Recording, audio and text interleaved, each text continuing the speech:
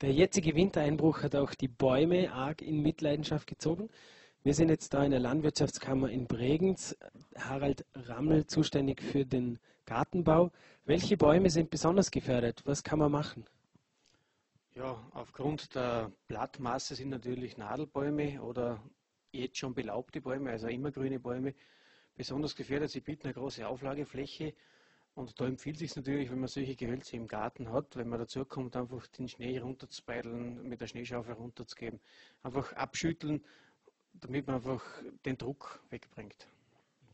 Muss man da irgendwas beachten?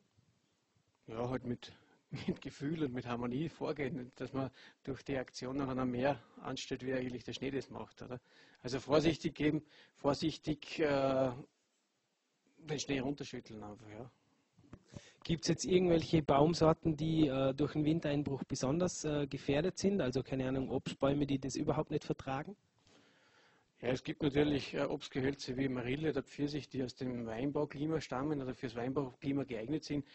Äh, diese Gehölze werden jetzt, wenn der, auf den Schnee dann wirklich eine Kälte folgt, Schwierigkeiten haben, weil sie zum Teil schon in Blüte sind. Also ich habe gesehen, Marille ist voll in Blüte, wenn da jetzt 2-3 Grad minus kommen, ist natürlich die Ernte für heuer gegessen im wahrsten Sinne des Wortes.